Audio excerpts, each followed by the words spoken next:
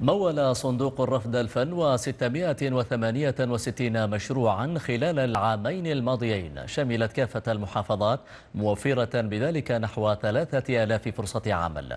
تكاليف تجاوزت تكاليف تجاوزت المشاريع ما يفوق 66 مليون ريال عماني حيث وصلت نسبة سداد القروض نحو 92% وأوضح الصندوق أن 42% من المستفيدين كانوا باحثين عن عمل قبل بدء مشاريعهم. وأشارت الإحصائيات أن 51% من أصحاب المشاريع هم من حملة شهادة دبلوم التعليم العام و19% من حملة الشهادات الجامعية.